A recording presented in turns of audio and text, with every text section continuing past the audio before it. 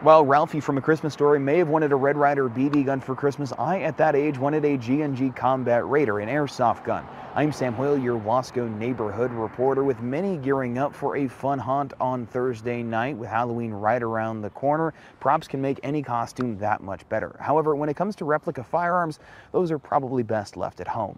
The main word of caution would be just don't it's it's just safer not to with how real these things are. Um, these are 100% replicas. That's Ben Ross, an employee at Gorilla Airsoft in downtown Bakersfield.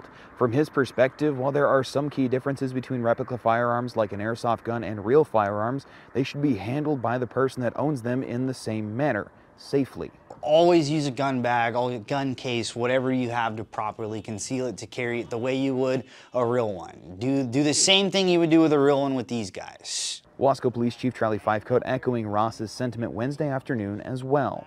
You go to a park at midnight, maybe it's after the Halloween festivities, and someone's out there carrying what looks like a, a, an authentic firearm.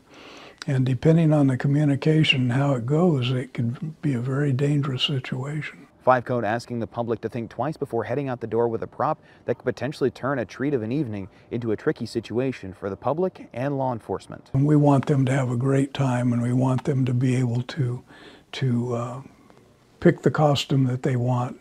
When it comes to firearms though, or anything that looks realistically like a firearm, We'd much prefer that they don't take them out with them. So while airsoft, pellet, and paintball guns are meant to be fun in a very similar manner to real firearms, safety rules do still apply and you should not bring them out in public, not unless they are inside a gun bag. Wishing you a safe and fun Halloween, I'm Sam Hoyle, your Wasco neighborhood reporter.